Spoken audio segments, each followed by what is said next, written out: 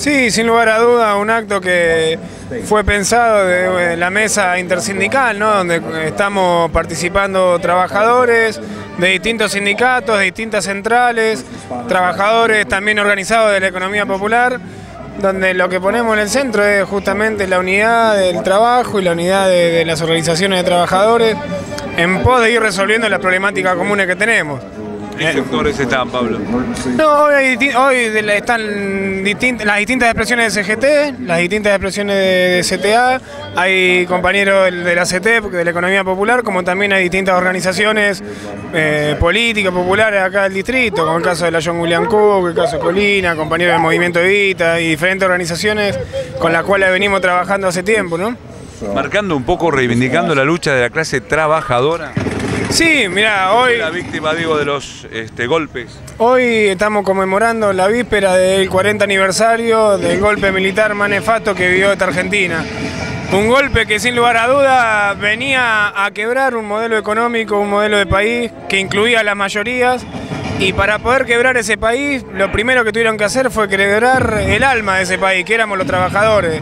Quebraron a los trabajadores dejándonos sin trabajo y también quebraron a, las organizaciones sindicales en las cuales nosotros nos organizábamos. Sí, básicamente estamos con compañeros de la mesa sindical de acá de Moreno, donde tenemos eh, la, suerte de que participen todas las organizaciones sindicales, más allá de las cuestiones de la coyuntura de las cúpulas, por acá por abajo tenemos una unidad de acción, una unidad de concepción, y conmemorando 30.000 compañeros desaparecidos, homenajeándolo, dándole nuestro humilde tributo, recordándolos y, ejerciendo la memoria, ¿no? que esto es lo importante y más como clase, destacando que, de esos 30.000 desaparecidos, el 62% eran laburantes, así que eh, la verdad que es un orgullo poder estar acá y poder participar con los compañeros.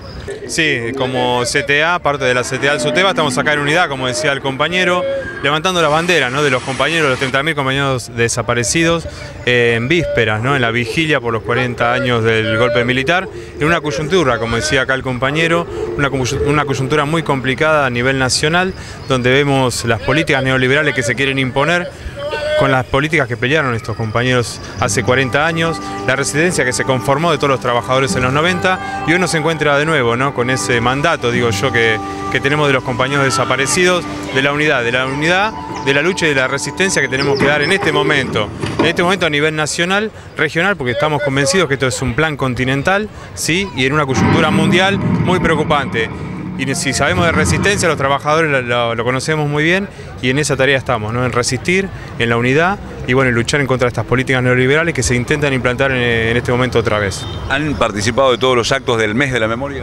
Sí, hemos participado de todos los actos del mes de la memoria, eh, hicimos la, la caravana el día 19, el día sábado, pero venimos desde diciembre, ¿no? en unidad, en toda la lucha de los compañeros que se vienen dando en diciembre, enero y febrero, que bueno, que ahora nos encuentra unidos ahora en esta conmemoración, que es muy sugestiva que en este momento venga, como decía el compañero, Obama en esta situación, en este cambio de intento de cambio de política a nivel nacional y continental, así que estamos unidos, más unidos que nunca en la resistencia.